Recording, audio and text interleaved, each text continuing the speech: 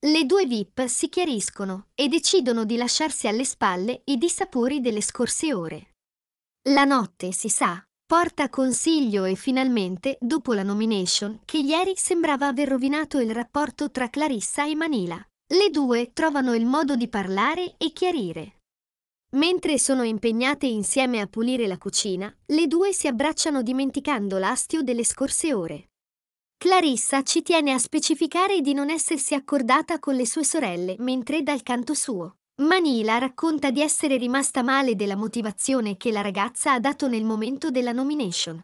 Non era per sminuire il nostro rapporto, dice la principessa che, pur avendo motivato la sua scelta raccontando di non trascorrere molto tempo con l'ex Miss Italia, non ha mai messo in discussione la loro amicizia e l'affetto che prova per lei.